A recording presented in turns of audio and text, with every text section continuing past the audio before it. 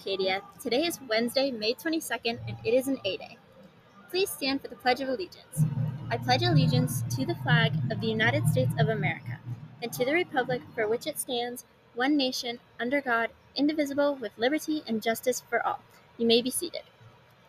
Today's lunch is a beef fajita wrap, curly fries, black bean salsa, and steamed broccoli.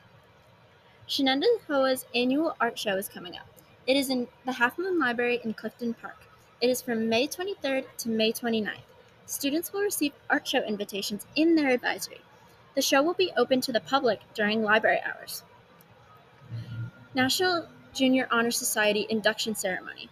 All NJHS 7th and 8th graders need to be present at the rehearsal scheduled for May 22nd at 8 a.m. in the auditorium.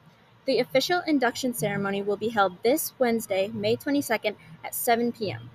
All students need to be in the auditorium for the ceremony, lined up, lined up or on the stage by 6:45 p.m. Attention 6th and 7th graders.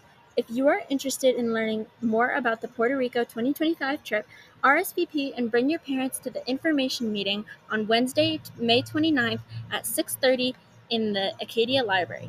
See Mrs. Quinn with any questions. Wolfpack Wednesday. Wolves will travel for a long distance for long distance by trotting at about 5 miles per hour. They can run at speeds of 36 to 39 miles per hour for short bursts when chasing prey. Make it a great day or not, Acadia. The choice is yours.